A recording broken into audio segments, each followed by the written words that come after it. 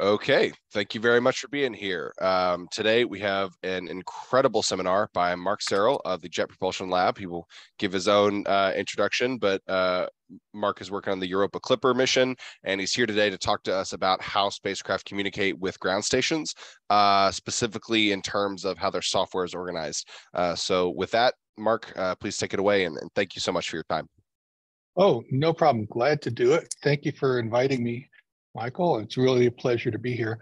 So as Michael said, my name is Marc Sarrel. I work at the Jet Propulsion Laboratory. My current job that I've had for about almost five years now, about five years, has been uh, working on the Europa Clipper mission. Uh, and more specifically, I'm the downlink systems engineer for the Europa Clipper mission. So it's my job to make sure that we know end to end how we can get all the data that the science instruments take back down to the ground and distribute it. Um, so I've been doing this sort of work on, this is not my first mission doing that sort of work. I also worked on the Spitzer Space Telescope in a similar role. Uh, before that, I worked on the Cassini mission, uh, but more in a ground data systems role in that for that mission. Uh, so what I'm going to talk about today is organizing the data exchange between the spacecraft and the ground. And in particular, the way I'm going to talk about it is a little different. I'm not going to talk about telecom.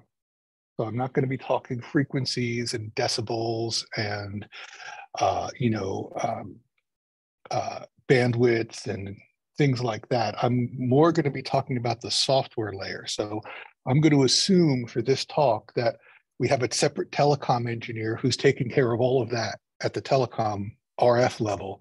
And I'm going to be talking about what happens above that level at all the different layers of software. Um, so today's talk, this talk, today's talk is actually intended to be part one. Um, with any luck, we'll, we'll be uh, having a part two of this talk sometime in the spring. Um, but what I'm going to talk about today is really two things. I'm sort of going to introduce the concept of layered interfaces, and then I'm going to talk a little bit about space link protocols and all the different protocols that you might run into um, if you're if you're designing such a system. Um, by the way, I would encourage, um, and Michael, tell me if you feel differently, but I would encourage people to ask questions sort of while I'm talking rather than saving them to the end. That's a great idea. Uh, we we love for these to be more like conversations and encourage students to speak up if ever there are questions, really at any point, if that's all right with you. That's fine with me. I would I would prefer that actually. So wonderful. Thank you. Don't don't worry about interrupting. Just go ahead and ask, and we'll try and uh, uh, I'll try and answer them to the best I can. But we're going to talk about two things. One, I'm going to give just a, a, a brief introduction to what layered interfaces are. I find that unless you're a software person and you have the specific kind of software background, you may not have encountered this stuff before. Um, so a basic introduction, and then I'll talk about the particular space link protocols that are common to use. I don't know if these are going to be the protocols that you guys use on ABEX. That's a different question. But these are all standard protocols that just about anybody in this area would recognize. And once you understand the concepts, that's really more important than the particulars of the protocol. Um, in the spring, the, the point is I, there are some other concepts. I'm doing a very basic point-to-point interface here. So no intermediate systems between the ground station and the spacecraft, but that's not the whole story. So in the spring, I hope to cover sort of beyond the space link. In other words, how do you get this, the data from the ground station to your mission operations center? Or perhaps how does the spacecraft get the data from its RF system to its payload? So those are sort of the, the first and last mile on either end of the space link, if you will. So this is the number one question you will run into with your with your customers, the people operating your, your science instruments about telecommunications. Where's my data? That's that's all they care about. They, they don't care about how it works or how it gets there. They just want to know where it is. So, but in order for, for you to answer that, you need to understand sort of what's going on. I've mentioned a couple of, of times this concept of layered interfaces, and you'll see that in a moment. But the reason we do layering is this uh, uh, uh, quote here. This guy is named Edsger Dijkstra. He was a uh, computer scientist and mathematician, and he he summarized it pretty well. So he's talking about software here specifically, but um, this applies to all sorts of engineering. So uh, maybe I'll give you guys like a minute or so to, to read through this. Um, I've, I, it's unfortunately, it's kind of a wordy quote. So why don't we take a few minutes just to read through this and Michael, maybe you can give me a, a signal when you think everybody's done. Will do. Going at it myself. Yeah.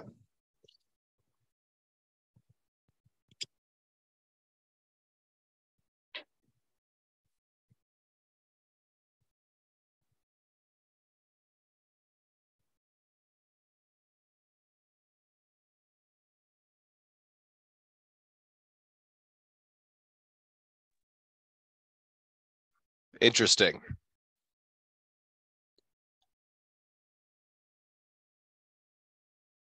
Okay, I think I know what you mean by the separation of concerns now. Right. So your problem has a bunch of different aspects to it, and you have to be able to deal with them one at a time, or at least as close to one at a time as you can get. And then it's a separate issue to integrate them and make them work together.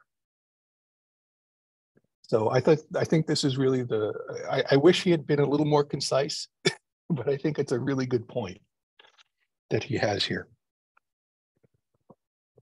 Um, so what are some of the concerns that I'm going to be talking about today? So for, for telecom systems, this is the list of concerns. You have error detection, correction, accountability and acknowledgement, um, bandwidth efficiency, uh, multiplexing, routing, flow control, authentication, and privacy, all of these things are things that you potentially could address in your telecom system, depending on the needs of the mission.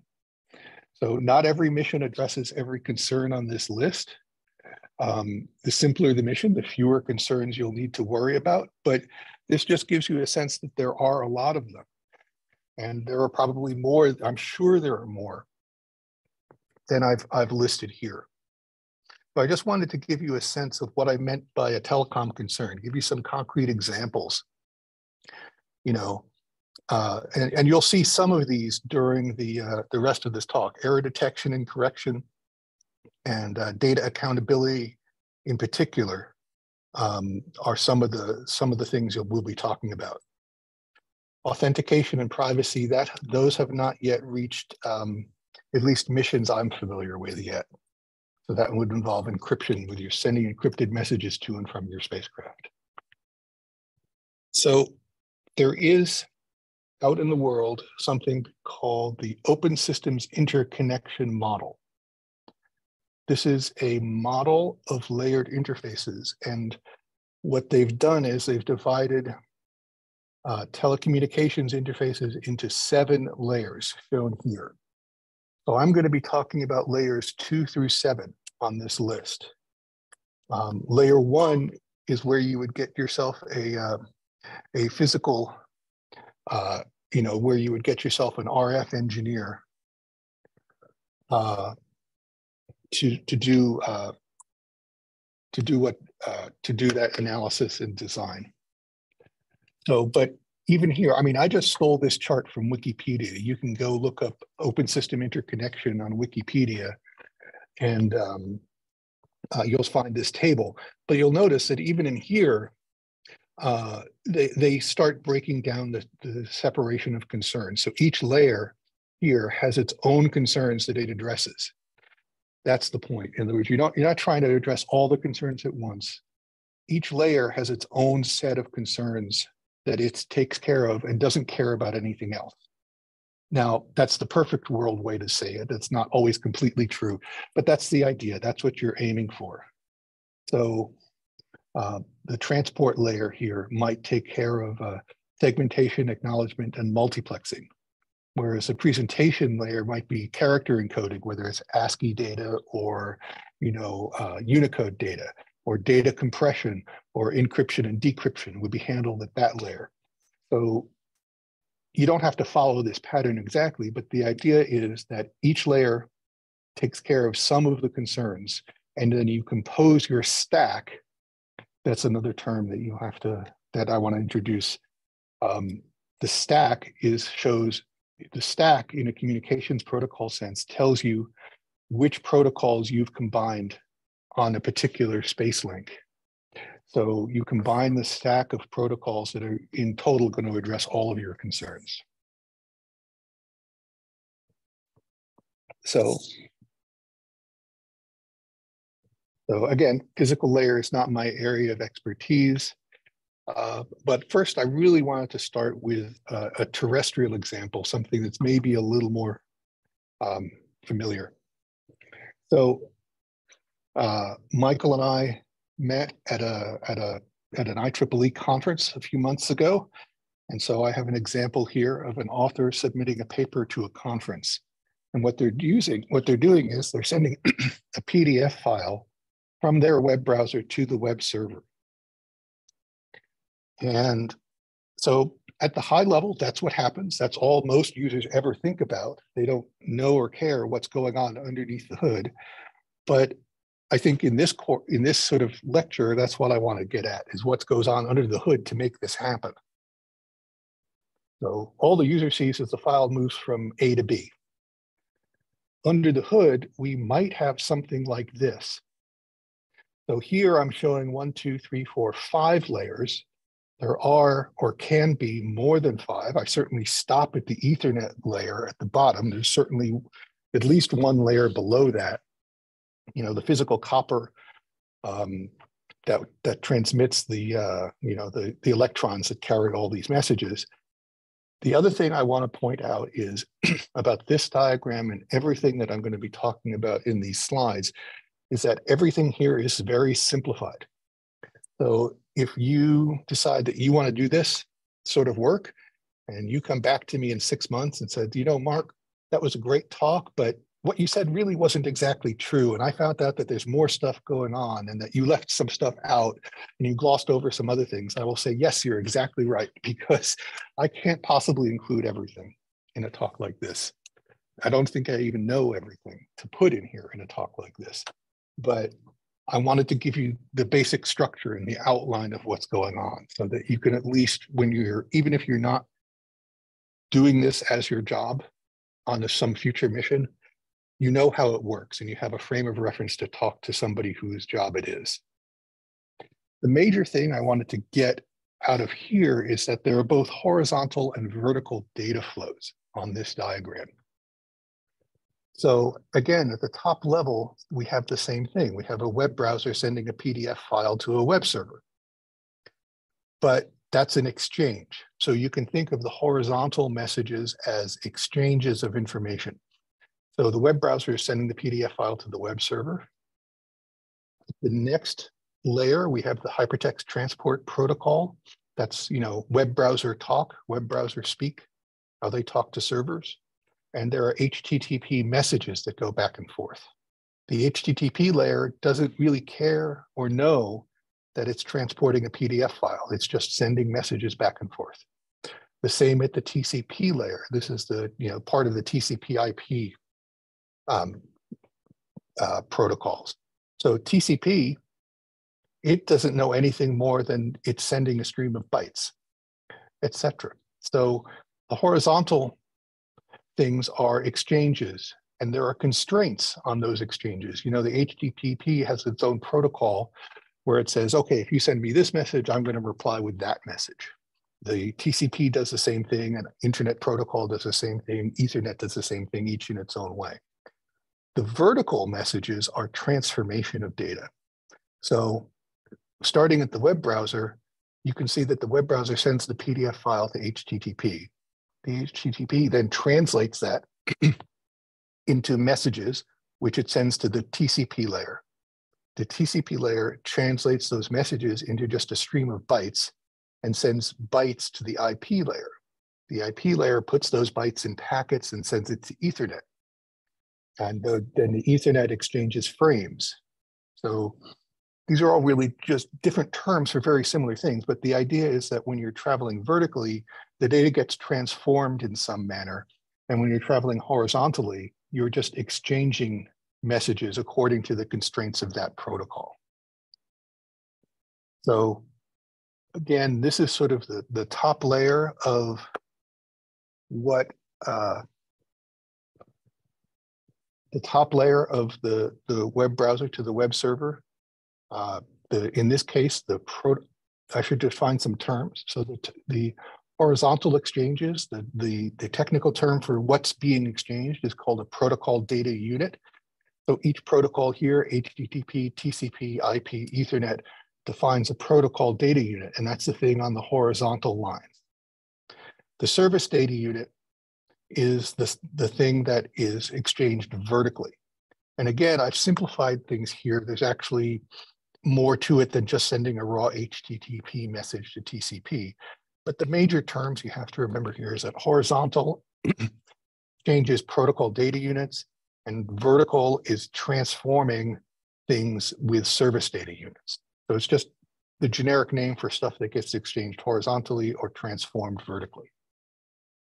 So at this top level, the unit of exchange is the, the protocol data unit. You could think of it as the PDF file itself. This is sort of the user data that the user cares about. Um, at the HTTP layer, um, the message, the, the PDU is the HTTP message. So if you went and looked up the HTTP spec, it'll tell you exactly what what messages you can send, what messages you have to receive, and what you need to do with them. Um, addresses are, as you know, URLs. Um, there can be several protocols sort of mixed in to this one HTTP layer. There are options on the HTTP protocol, in other words. So you can do authentication to so that the user is confident that he's submitting to the right website and the website is confident that they have the correct user. The user is who they say they, they are. Um, they can be for encryption for privacy, that's the HTTPS. Um, data integrity to make sure nobody tampers with the data. Um, I'm sort of this, so HTTP is a, a level seven protocol. In this example, I'm skipping over levels five and six.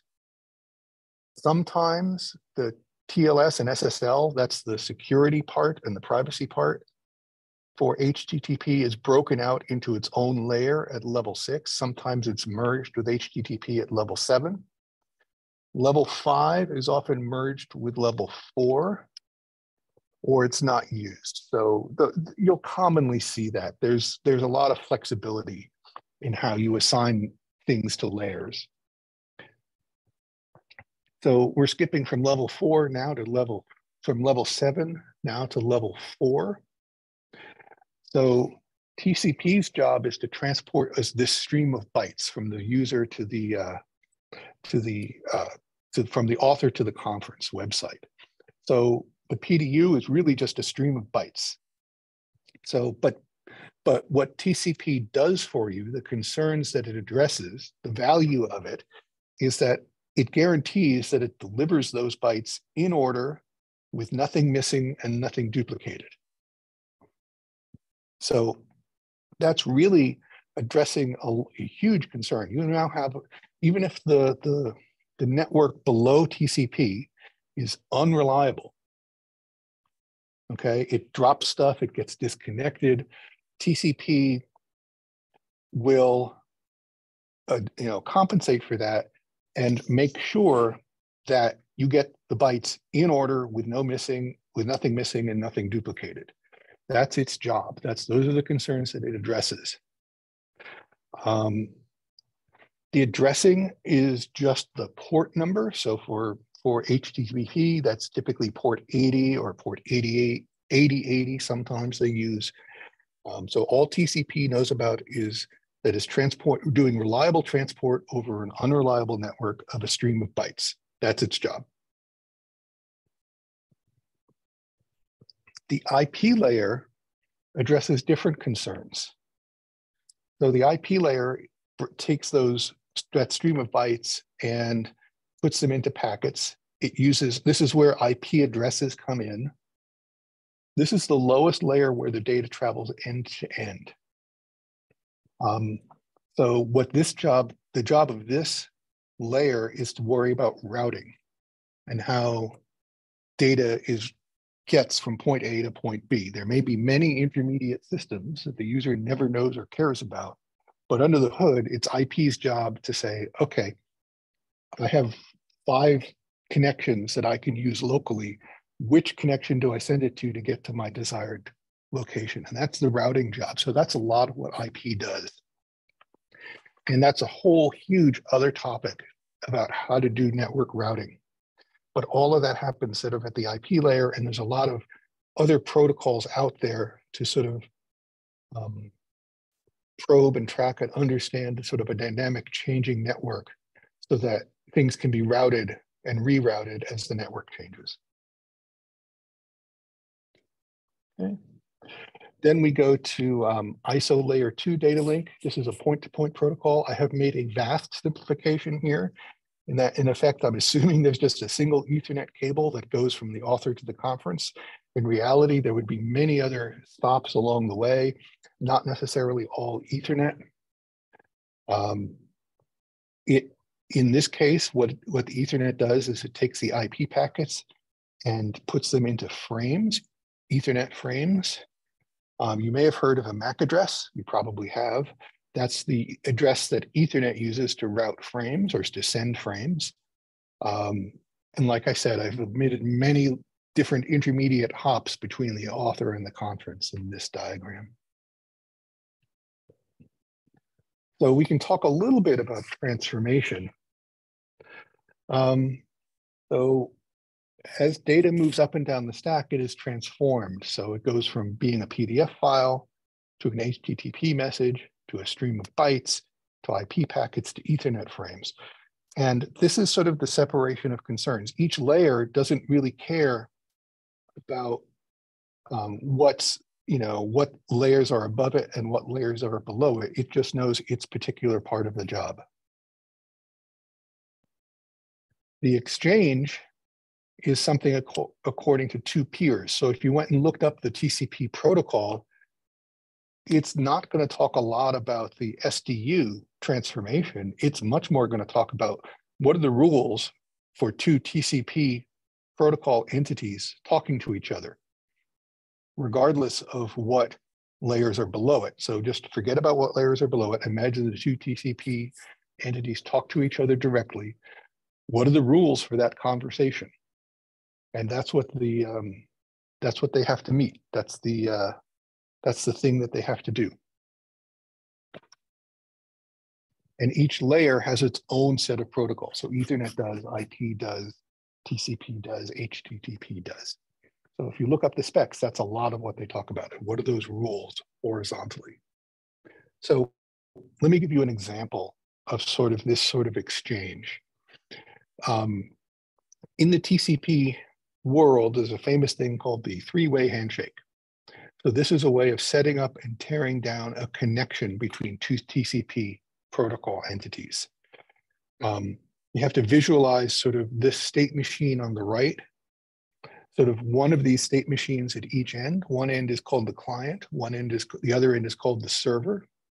So typically the client follows the red path through the state machine. Typically the uh, server follows the blue path. You start at the at the black dot up here at the top, and you start by entering the closed state. The um, the server then listens, and then the client does an open and initiates a connection. So there's a the top four states here are how to establish a connection. Once you're in the established state, then other protocols, other parts of the protocol take over and you exchange data. When you're done exchanging data, you then use the bottom six states on this diagram to close out the, um, the connection. So how, I, I don't know, I, I guess I, I want to maybe ask a question here of the audience. How many of you all are familiar with this sort of concept of state machines or this sort of notation? State machines, yes. Looks like we got some hands raising. Thanks, thanks for that, Drew. State machines, yes, and we do have several people on this call that use SysML. Um, Perfect. So uh, I, I know when we were talking about this, you mentioned possibly just doing one of these on how to organize this in SysML.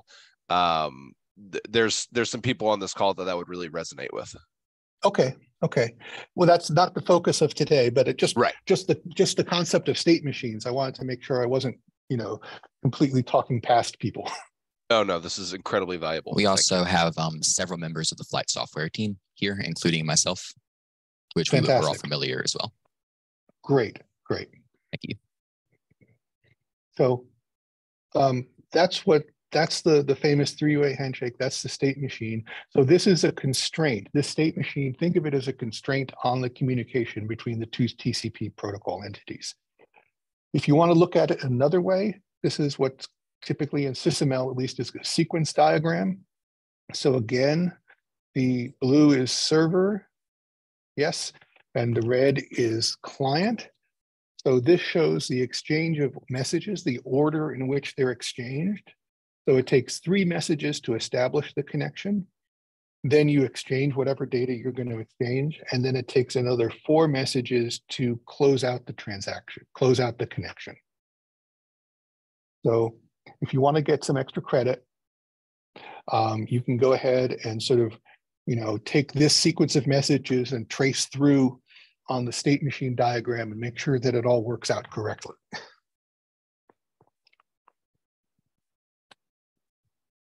Okay, so I've sort of explained a lot about sort of the transformation and exchange and um, the, uh, you know, the some a little bit of a protocol, giving you a flavor of what a protocol looks like.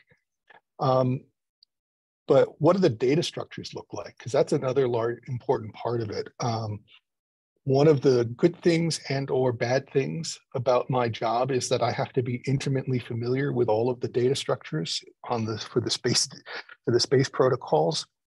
So it's you know for the uh, for the OCD part of my personality, that's really great. but it's it's sort of uh, it's not always what I want to be thinking about. But you you have to know some of the particular um, you know the data structures that are used so that um, you can do it. And i find that space missions in particular tend to look you know if you're a user using uh, a web browser to send a file you're not going to look, know or care what ip packets were sent. But in the space business you do.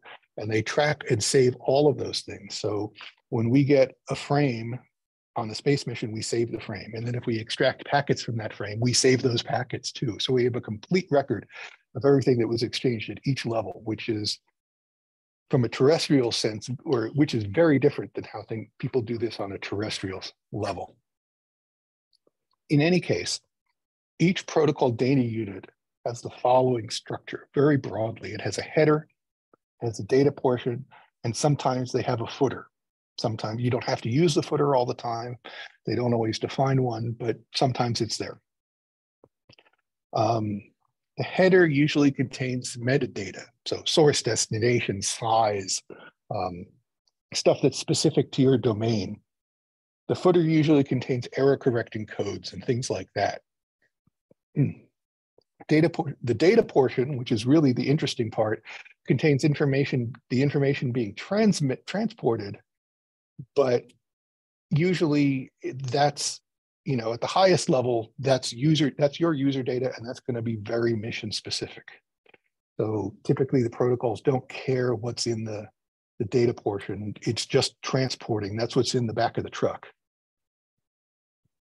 So if we look at an ip packet an internet protocol packet this is the header structure for it. So you can see this is uh, this can be quite long. It's at least 120, it's at least 16 bytes, 128 bits long, but can be longer depending on the options that you use. Um, so the largest theoretical size for an IP packet is 65 or 64 kilobytes. Uh, the largest data portion for a single Ethernet frame is 1500 bytes. So maybe a little counterintuitively, a packet can be much larger than a frame. So packets usually must be split among many different frames, among a bunch of frames, and then reassembled on the other end. That's sort of one of the concerns that I was talking about. In other words, the the the uh, the IP layer doesn't know or care that Ethernet has broke taken its packets, broken them into pieces, and then reassembled them. That's the job of the Ethernet layer. Then Ethernet just presents a completed packet to the to the IP layer above. So in a perfect world, each layer wouldn't know anything about any of the other layers it's interacting with, either above or below. But we don't live in a perfect world. So things like quality of service, the latency, how long a message takes to go from one end to the other, the bandwidth, how much, how many bits per second can you transport, the jitter, like if you're doing video conferencing or audio conferencing, the, uh, you know, if your latency isn't you know perfectly constant if it varies if your latency varies over the course of your your meeting that's called jitter. Um, and that can affect audio and video so you have to account for that. Uh, privacy in other words encryption authentication making sure you know who you're dealing with passwords and usernames uh, all of these sort of things really are sort of i would say they're cross-cutting in other words, that no single layer is responsible for any particular quality of service. It's really the combination of layers that that result in the quality of service. So you're going to have to do, you know, understand how your layers work together when you're designing and analyzing them or and operating them to understand how this the interface performs as a whole. A lot of times I get questions about well, what layer is real? What's really going on here? They can't all be happening. You know, surely it always boils down to electrons or photons, right? And yes, that's true. You know, that's that's ultimately what what gets transported back and forth, or electrons or photons or whatever you're using to to send. Um, but as I've been trying to emphasize, each layer in the stack must perform its functions for the interface to work as a whole. So they all have to be true. I don't like using the word real, but they all have to be true. In other words, you, you have to be able to think about the TCP layer by itself and make sure that that's working properly before you start mixing it in with the other layers. So that's this is going back to what I said at the beginning, the separation of concerns. So I've been told that you are probably familiar with this quote. So all models are wrong, but some are useful. This is really just to emphasize that, that all of this layered stuff is just a model. It, it is not capturing all of the detail that uh, really goes on in an implement in a in a real world implementation of a protocol stack. So for that, you really have to look at the the software or some of your layers are done in hardware at the hardware layer to understand what's really going on. But this is, I hope, a, a useful model. This layering of things, I hope, is useful for people to understand what's going on without having to get into all of that detail. So now we're going to jump and, and talk about some of the SpaceLink protocols, at least the ones that I'm familiar with. And in particular, hmm, in particular, we're going to be talking about three of them. So the space link, what I, am calling the space link, is simply the RF link between the spacecraft and the antenna on the ground. Um, most missions, or certainly all of those with, I'm familiar with, use CCSDS standards for this link almost exclusively. So the CCSDS is the Consultative Committee for Space Data Systems. They publish a huge number of standards for space communication. So we're only going to talk about three of them. Um, but each mission, it's sort of like a, you know a menu. You can pick and choose which um, which protocols you want to use and assemble your stacks accordingly, depending on what your mission is, mission needs are and what your constraints are. So I'm going to show you one particular combination, which is commonly used for JPL missions, but that, that doesn't mean that that's the same as what you're planning to use for ABEX or what you would necessarily use for any other mission. So don't take this as the, the answer for all your missions. It's really just to um, uh, really just to illustrate the point and give an example of what what can be done.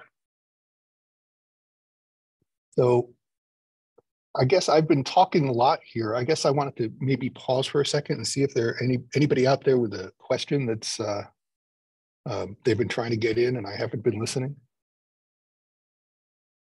There's one. Um, it's kind of tangential to talking about the CCSDS. For those that are unfamiliar, could you speak on what the difference between the CCSDS blue books versus green books versus magenta versus orange are? Oh gosh, yes, yes, yes, yes, yes. Okay, I'm not I'm not going to know all the colors off the top of my head. The blue books are the official standards documents themselves. If you want to know exactly what the standard is and what the standard says, that's a blue book.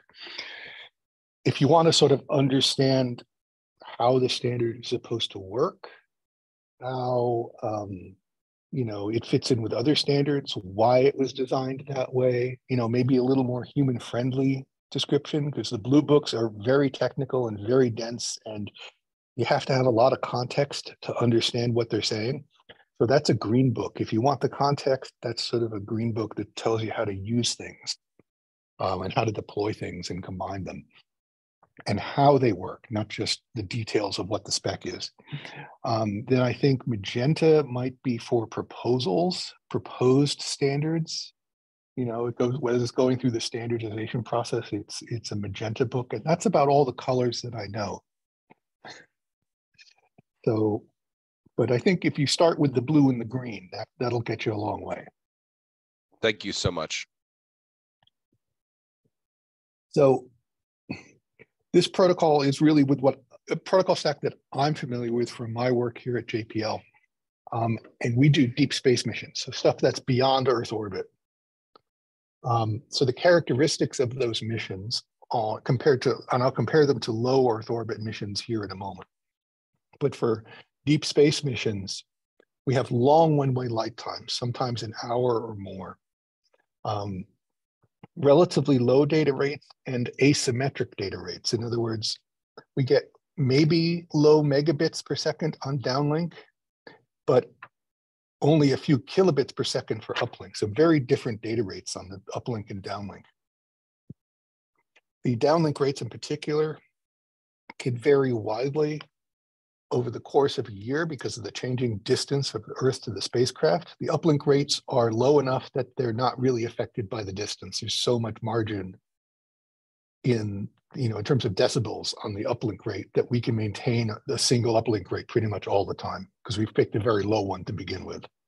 Um, and the SpaceLink has its own sort of noise characteristics in terms of no, the noise tends to be bursty. And if you ask me more about what that means, I'm not going to know. That's where it's where you need a telecom engineer. But you know, it has its own particular kind of, of noise, which influences then what type of error correction you need to have.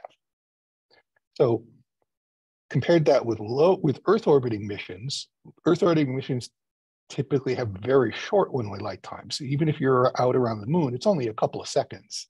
So compared to an hour, that's really short relatively high data rates, megabits to maybe a gigabit.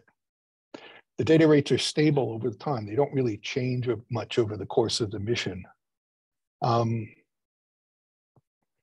so LEO, if you're in low Earth orbit, the telecom passes are short. If you have a single ground station and you're in low Earth orbit, you're maybe you maybe see the spacecraft for 10 minutes or so, something like that. Um, and you may only get one or two views per day from that one antenna. You have multiple antennas, you can do more. Um, for geos geosynchronous orbits, the telecom can be continuous. If you have a dedicated ground station, you can always see the spacecraft. Um, for the deep space missions, it's a little bit different. So we typically get long telecom passes. We can get, depending on on the, the hemisphere the ground station is in northern or southern hemisphere of Earth, and other factors, you know, the telecom pass could be eight to 10 hours long. So it takes a very long time for the spacecraft to, you know, rise and set. So really very different applications. So that's why I'm saying that what I'm showing you here for deep space missions may or may not apply or may not may not may or may not be suitable for like an Earth orbiting mission. But I'm going to and I'm going to talk about the uplink and the downlink protocol stacks separately. So what that means is because they use very different protocols, they they tend to be unidirectional. So the uplink stack is really only concerned about sending things from the ground to the spacecraft and vice versa for the downlink stack. So in that sense, it's very different from the terrestrial example, which was using the same stack for both directions. This uses a different stack in each direction. Um, so the, the, the, the, in this example, we really have four protocol layers. We start off with um, what I've just called spacecraft commands. That's sort of the user layer. I'm putting that at layer seven. And those are specific to your mission, to your spacecraft. You know, the it's whatever, you know, binary commands your spacecraft accepts. Then we jump all the way down to level to layer two. And this is the frame layer.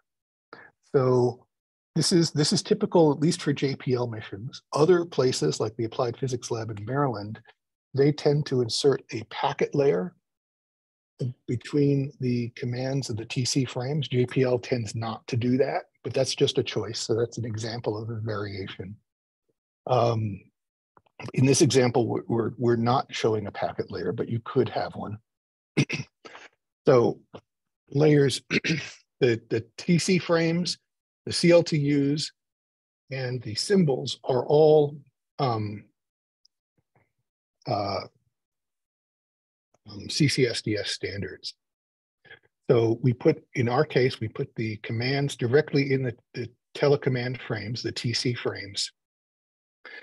Um, and that's a one-way send.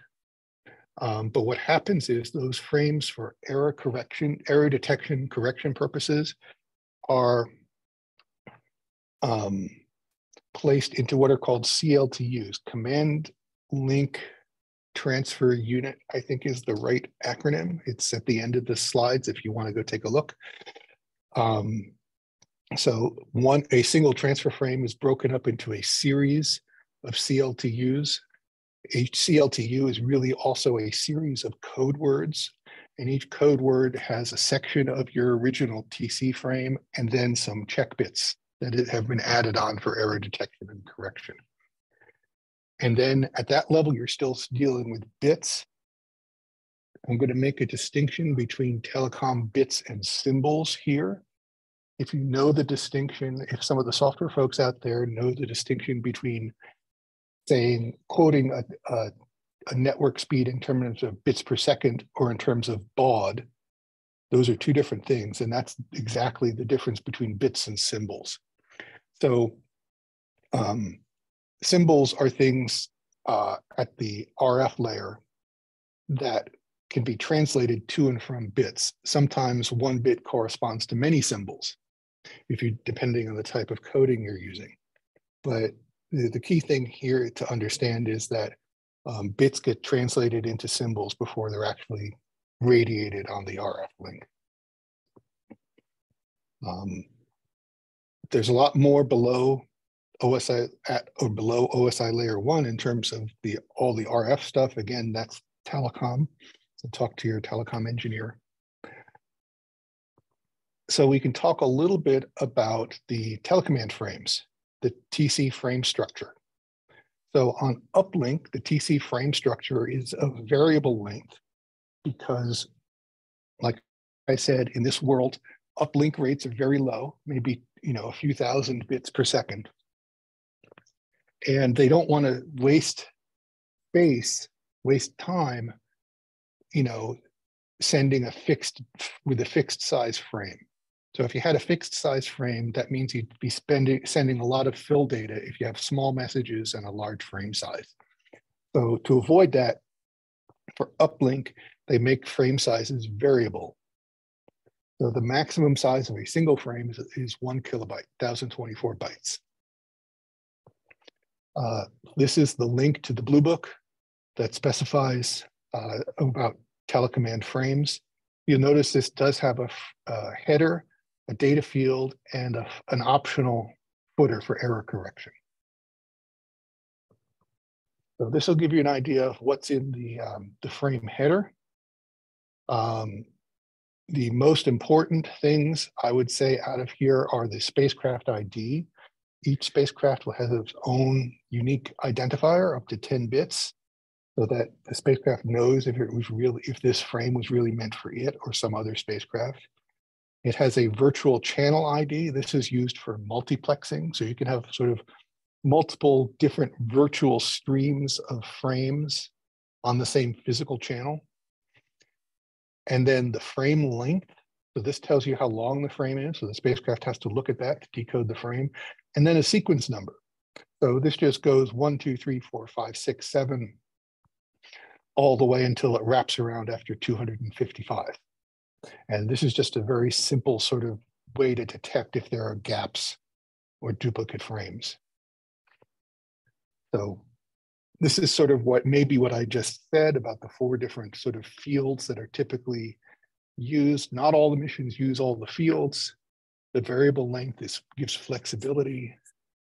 Um, there is also a thing you can think of with transfer frames, and that's called randomization. So randomization doesn't really change the content. The purpose of randomization is to protect against long runs of zeros or ones in your data. So unrandomized data, like you might have if you put commands in a transfer frame, may, you know, they they often have long runs of zeros or ones in them and those are those are bad for radio receivers because it's difficult for them to stay in lock. It's, they can lose sync. Sort of, um, if you have long runs of zeros or ones, it doesn't know. Well, was that 25 zeros or 26 zeros, and the timing can get off. So the randomization, it's the the bits are exclusive ORed with a known pattern, and that it's not encryption or anything like that, but its sole purpose is just to help reduce the long runs of zeros or ones so that your receiver has less of a chance of losing lock on your signal, on the bits in particular.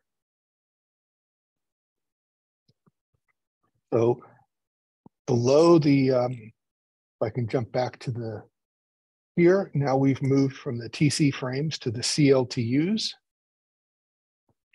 So a TLT, CLTU is, is really three things. It's a start sequence of 16 bits, which is a fixed known sequence. So you can always tell when a new one starts. It's a series of code words. In this case, it's using BCH coding. So um, each code word, which is the original data plus the check bits, is 64 bits. And then there's a tail sequence, which is a special bit pattern um, which causes the decoder to fail intentionally so that it knows that we've reached the end of the CLTU. So if we look at a single code word, now we're looking at a single code word here, these 64 bits of BCH code word, um, it contains 56 bits of information. This is the original message unchanged from what you fed in then seven parity check bits, and then one filler bit to make it an even number of bytes, to make it 64 bits instead of 63. And the purpose of this is for error detection and correction. The nice thing about BCH codes is that when you're designing your code, you can actually choose um, how many bits you want to, how many errors you want to be able to correct. So the, what what uh, CCSDS has chosen is a code that can detect. It can do one of two things. You can run it in a mode where it detects two errors and it can correct a single error. So that single error correction, dual error detection. You can also run it in a mode where it can detect up to three bits. That's triple error detection, TED. But in that case, if you can detect, it's a trade-off. You can detect three-bit errors, but you can't correct anything if you run it in that mode. So this is actually a pretty, as BCH go, codes go, a pretty weak one. They use them a lot on the ground for, for cell phones and for other sort of RF communication, and they use much stronger codes that can correct many more bits. But for spacecraft, they chose a very uh, uh, um, a simpler code to implement that was you know easier to implement on spacecraft hardware. So a CLTU can contain any number of code words. There is no length field. You're relying on the the uh, the fixed bit pattern, the start sequence, which is EB90 in hex, and then the end sequence, the C5 blah blah blah 79 that causes the BCH decoder to fail. So you can have any number of code words in a CLTU. I talked about the single error correction, double error detection versus triple error detection. This was a little confusing for me when I first ran into it. The BCH codes are specified by CCSDS as, quote, modified, but they don't really tell you how they've been modified. And really, it's very simple. So they've appended the fill bit to make it the integer number of bytes. That's modification number one. And modification number two is they invert the flip. They invert the parity bits. They change ones to zeros and zeros to ones. Just again, to avoid this long run of zeros or ones. Um, as I was saying, BCH code, BCH coding is actually a large family of codes, and you know, there are many different um, designs you can have within the BCH family. Um, this is really important for uplink because we don't want the spacecraft to ever receive corrupted data, corrupted commands. Um, uh, but this is sort of at the boundary of where I would work and where a telecom engineer would work. So if we were designing this system from scratch, you would want to talk to your telecom engineer and and you know, talk about whether we need randomization, whether you need BCH coding, or there are alternatives to BCH coding, like low density parity checking, um, and other things. So you, you have to talk to your telecom engineer and make those sort of choices. So really, there are many, many other options for building stacks. This is just a very, very simple one. Um, you can choose different protocols for the layers. Um, within protocols, there are many different options, BCH versus LDPC coding, that's low, low density parity check. So that's one thing. There are different types of frames you can use. You can choose to add packets or not add packets. Um, how you pack data into the top level. In other words, what what sequence of things you're sending at the very top of the stack is completely mission dependent and up to you. So one typical scheme I've seen is to put one command inside each TC frame. That makes it very simple for the, the spacecraft to decode things. There's, he doesn't have to put two frames together to get a command. Um, the fact that TC frames have a variable length field is very convenient here. So you, you know, that seems to be a common pattern. Um, uh, you know, if uh, if you want to route that command to a different part of the spacecraft, you have to have enough information associated with the command to do that. Or you, sometimes people use a packet layer to do that routing. Uh, similarly, often, you know, for, for uplink passes, if you have eight or 10 hours pass for one of these missions, you typically don't have that much, you don't need that much time to do your uplink. So what the ground typically does is it sends a, um, uh, a sequence of idle bits, so just alternating zeros and ones to keep the spacecraft receiver in lock. So that is the end of the uplink discussion. Any questions on the uplink? Okay. So moving now we're going to move on to the typical downlink stack. So this you'll notice this has a few more layers and you'll see how it compares to the uplink stack. It's it's it's different in some important ways. Um, one thing that's similar is flow is unidirectional. Um, in this example, we're showing a packet layer on the downlink. JPL tends to use packets on downlink. Um, okay, so we have uh, the, the telemetry at the very top layer. Then we have space packets, AOS frames. That stands for Advanced Orbiting System. It's basically the downlink frame. So it's a different structure than the TC frame or the uplink frame, but it serves the same purpose at the same layer. Then instead of um, um, instead of um, BCH coding on downlink, we use something called turbo coding. Uh, it's more complicated to decode, but on the ground, when you're decoding it on the ground, that's okay. So we're going to talk about sort of, we're going to start talking about with, uh, start talking about the structures here with space packets. So again, there is no footer in the space packet, but we have a primary header, an optional secondary header, and then a user data field. And these can be quite big, up to 64 kilobytes. Um, this is the packet primary header. Um, so the the the important the important uh, structures in here, the important parts of this um, uh, primary header are the uh, application process identifier, the app ID. What that does is that actually identifies the piece part within the spacecraft that originated the packet. So packets are typically created by different subsystems within the spacecraft itself or by different science instruments within the spacecraft. And the, app, the application ID, the application process identifier, will tell you where that, that packet originated. It will tell you the format of the data content. So you so the ground knows what's supposed to be in the packet, and a lot of other things are keyed off of that um, application process identifier. The packet sequence count is also important. This is an exact equivalent of what you saw on the uh, uplink packet uplink frames.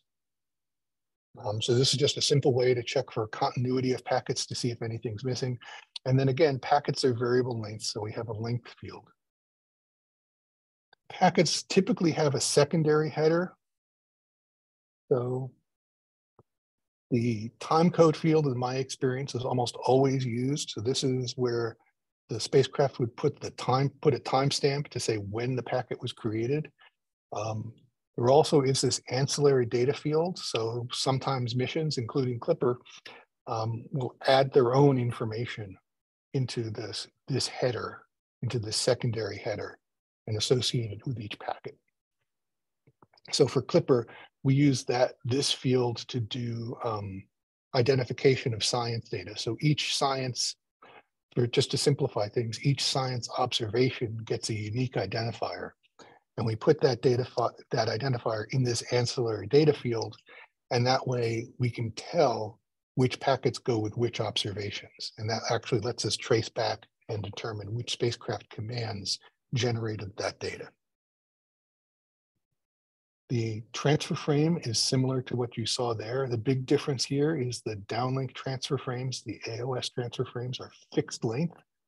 So it just puts as much stuff into the transfer frame as it can. There will usually be some fill data.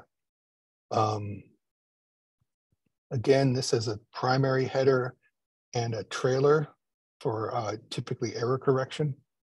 Um, but and then the main part of the, the data is carried in the transfer frame data field. The primary header has no it, it has no length um, uh, field in it because the the AOS frame is fixed length. Each mission can choose the length they want to use. So CCSDS doesn't specify the length, but each mission chooses a length. And both the spacecraft and the ground know what that length is, so they don't have to put it in each frame. Again, we have the spacecraft ID, a, another virtual channel ID like you saw on uplink. So this lets you have multiplex different streams, virtual streams on the same physical channel. You have a frame counter, Um, and then at the end, you can have the um, a field which tells you whether you're going to use the error correction. Uh, so I think I covered most of this. The fixed length allows optimization and scalability of processing. So you're, you know, the typically the downlink bit rates are much higher than the uplink bit rates. So your the ground is processing data very quickly and the fixed length field helps, fixed length transfer frame helps with that. Um, and again, you can do randomization on the downlink just like you do on the uplink for the same reason to help keep your receiver in lock. Hey, Marc, can I ask you a quick question? Sure, of course. Sorry to interrupt. Uh, this this may have a, a simple answer, but in the transfer frame header, the spacecraft ID was 10 bits, and in the AOS header, it's eight bits here. Uh, can you tell us a little hmm. bit about, about the difference there? That is a really good question, and I don't know the answer to that as to why that is.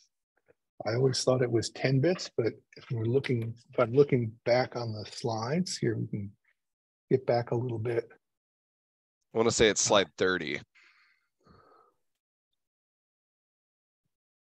Spacecraft ID 10 bits versus eight. You're right. I had not, frankly, I had not noticed that before. Um, so I don't know the answer to that. I'd have to look it up. I'm I'm impressed that you noticed that, honestly. Thanks. Uh, we'll save it for part two. yes. Um, okay. So now we're getting below the frame layer. Um,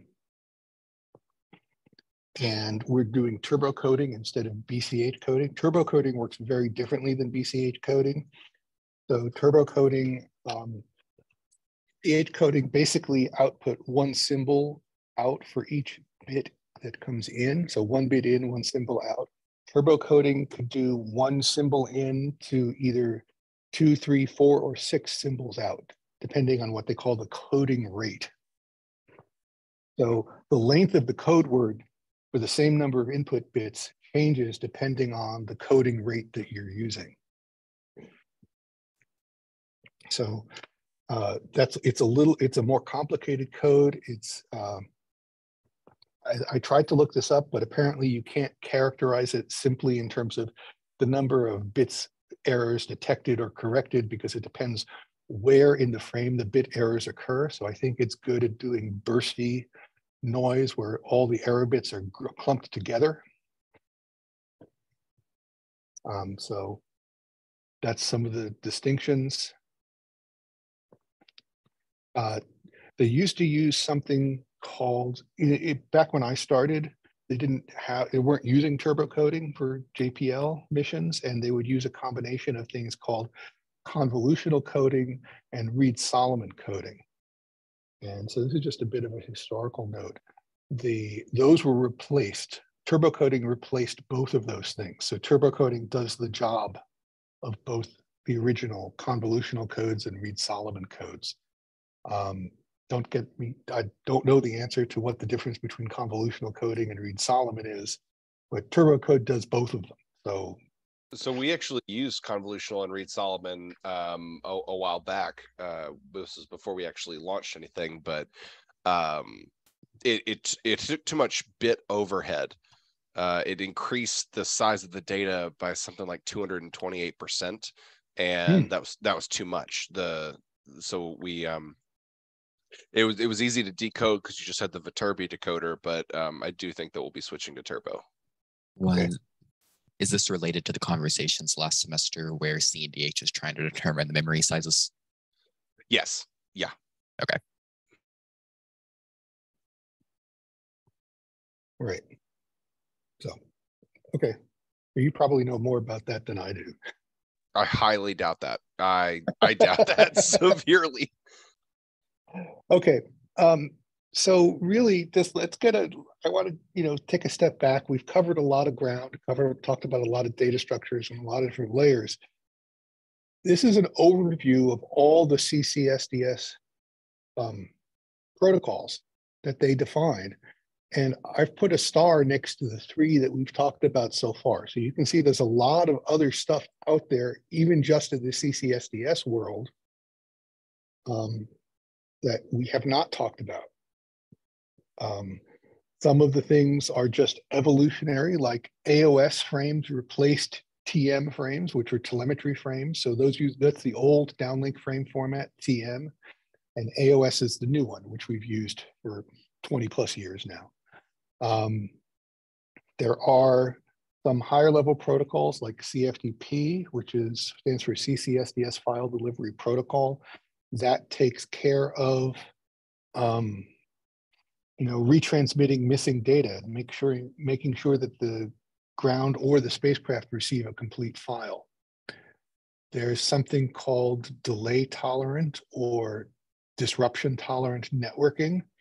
That's the that's a combination of the BP there, the bund, what's called the bundle protocol, and then one of one or more one of the protocols below it. The one I'm familiar with is called LTP. That's a Licklider Transport Protocol. So the combination of BP and LTP is called delay tolerant networking, and that's that does the same sort of job.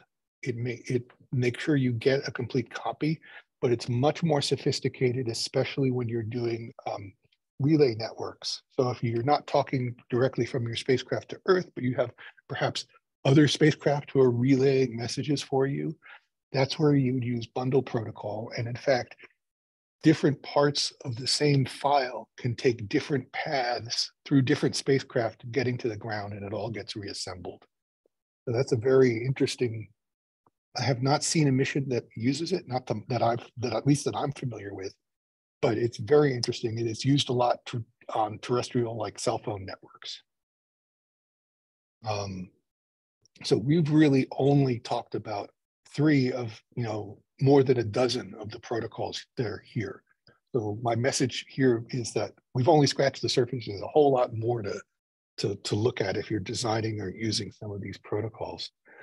Um, Are there any um, ISO standards that contain detailed overviews of some of the protocols that we haven't gone over today? ISS standards? ISO standards. ISO standards? Yeah. Well, ISO and CCSDS are different organizations. So were you asking about? I guess so, a docu like documentation. So the the, detailed implementation. I guess I, I'm not sure. Can you can you rephrase the question? Can you ask it again? I think are there of, any sources for I guess reading more information on some of the protocols that we didn't go over in this entire protocol stack? Okay, so in what we're in what's on this page, your main source would be go to the ccsds.ccsds.org website and look up the various colored books for each of these protocols. Um, I will say the bundle protocol and the LTP protocol really actually did not originate with CCSDS. Those were Internet Engineering Task Force protocols. The CCSDS has sort of adopted them and you know put their own cover sheet on them, but they're originally an IETF construction. So if you're interested in those for DTN, you might look in the uh, IETF document. But really, you know, the blue book is the the, the gory details of the spec, and the green book is the um, sort of the more of the, the the gist, how to use it, what it's for, why it was designed that way. Is that sort of what you were thinking yes. of? Yeah, I don't I don't know of any resource outside of the CCSDS documents. Okay, thank you. I appreciate it.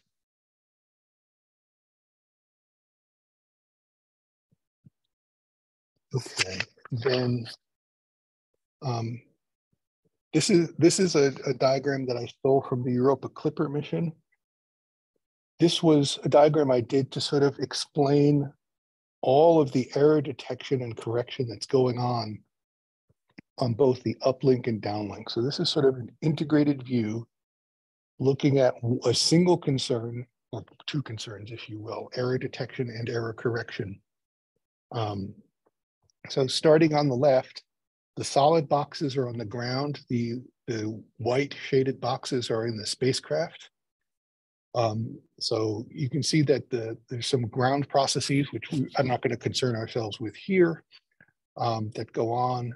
But for the uplink, there's really three kinds of, or well, yeah, three, let me, let me call them three kinds of error detection correction going on here. So we have the telecommand frame forward error correction field or frame error correction field. We have the BCH codes, which we've talked about and then so that's the error detection and correction. Then we have two um, reporting capabilities. We have an uplink file accountability report. Every time we send a file, we get confirmation that it was received on the spacecraft, and that's sort of a higher level accountability. And then this ADP accountability report, that's the accountable data product. That is that identifier that I mentioned we put in the secondary header of the packets that's tied all the way from our planning software, our commands in the planning software, through the commands, and then down in the packets. So this is truly sort of like the full circle life cycle traceability number that we can use. If you know the accountable data product, you know which commands created data, and you can find all of the data created by those commands. Um, if you're on board the spacecraft, there's a lot of error detection and correction just on board. So uh, we we often use we have several different data buses, but the two two I'm going to talk about here are SpaceWire and UART. So those both have their own error detection and correction mechanisms. Um, the BDS and the EFS that you see sort of here, those are our uh, data storage devices, and they have their own error detection and correction for while the data is being stored. Um, on the downlink, we have the AOS frame forward uh, frame error correction field and turbo codes. And then we have a huge number of accountability reports. So we have accountability reports for packets, um, for spacecraft packets, for instrument packets, for downlinked files. And then we have um, another second type of packet cap report and a transfer frame cap report. So we do a lot of accountability reporting and a lot of error detection and correction. And so this sort of gives you just one, an end-to-end view of one slice of the, uh, the, the, the stack stuff that I've uh, been talking about. So that's this is really sort of the uh, the the end of my question. I have a end of my talk here. I have a couple of um, resources. This is mostly the CCSDS websites, a couple of specific links to the things I talked about. Uh, AOS frames, TC frames, space packet protocol. Um, I do have a question, sort of a discussion question. So this is a throwback to um, the, uh, you saw these diagrams earlier, the state machine and the sequence diagram. Do you think this sort of a protocol would work well with a long one-way light time, sort of maybe of an hour. Anyone want to hazard a hazard an answer there? Is this a good design for that sort of environment? Flight software team. Well, I feel like if we answer, it might be cheating. Um, so it likely would not work with a one-way light time of one hour, just due to the fact that you would have a you'd likely run into a timeout error mm-hmm. consistently. You could manually yeah. set a an incredibly long uh, timeout, but I believe that you mentioned when you get to that level of it taking that long, the time's going to be somewhat variable. Right, and and I think so. So yeah, you're you're right. Um, uh, even if you could get it to work, even if you manage the timeouts so you could get it to work, it would take you forever to set up and tear down the connection, let alone transport any data. So not useful. So it, it really is context dependent on what protocols you choose to use. Um, I have one more quote here. Does any, is anyone here familiar with uh, Grace Hopper? She was uh, famous. She she helped build the compiler for COBOL back in the 50s. Um, she was really a, a, pioneer in computing. in the Navy. She was a rear admiral. And, and her point really is that uh, she was, this is, this quote is from the early 60s, and she's talking about some early data processing that her group was doing. They were trying to process data. I don't know what the data was, but they had data that was put in, they ran a lot of processes on it, and then there's data that put out. And she sort of tells a story in this quote that they started out by thinking, well, what procedures do we need to run on this data at each step? And they quickly found out that that was the wrong way to think about the problem.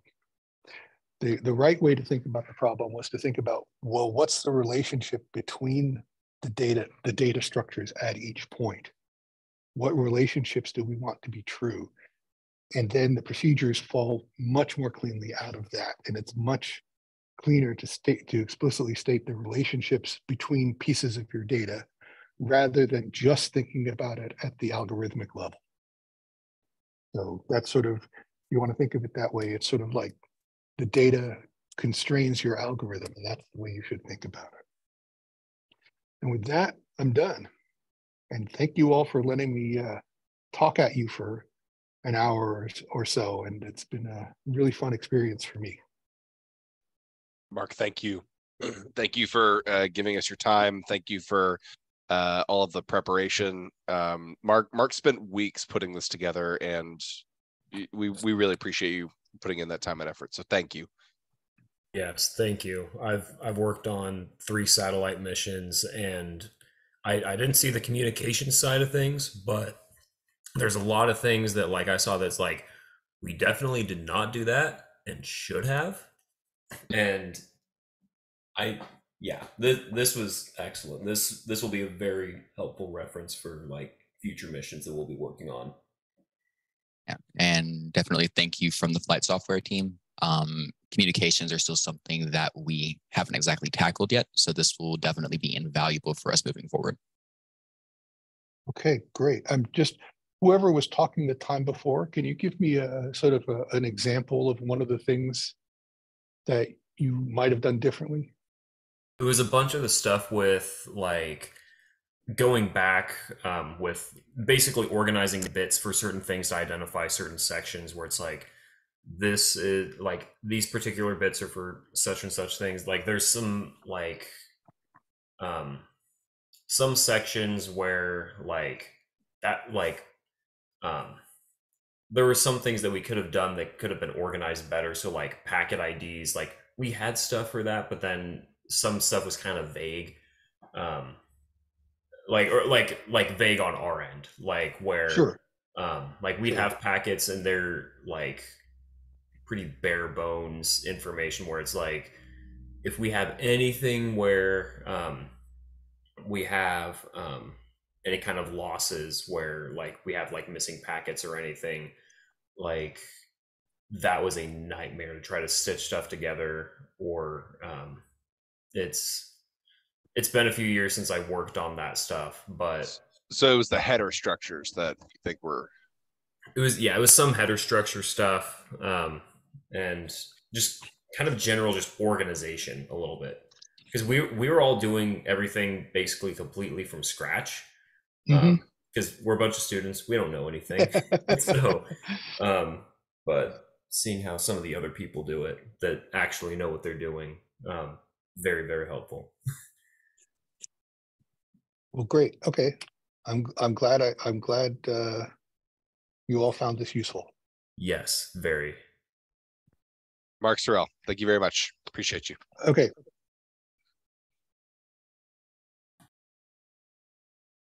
All right. Uh, with that, the spacecraft seminar series uh, is concluded. Thank you very much, everyone, for joining, and uh, have a lovely night.